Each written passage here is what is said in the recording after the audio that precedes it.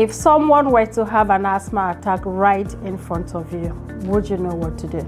Asthma and Allergy Foundation has just the answer because recently we have launched the Asthma Aware course, which will equip people like yourselves, line managers, health and safety officers, first aiders, and anyone who work with employees or people with asthma with the right set of skills to be able to provide just that vital support because really the difference is in knowing what to do when someone is having an asthma attack and what you can do in the workplace to ensure that your colleagues or the people under your care can work safely with their asthma. The e-learning course is CPD accredited, which means you can have your fancy certificate with the CPD logo in it. So why wait? Go get your own e-learning copy today and together we can ensure that people with asthma in Scotland are supported to live well with their condition.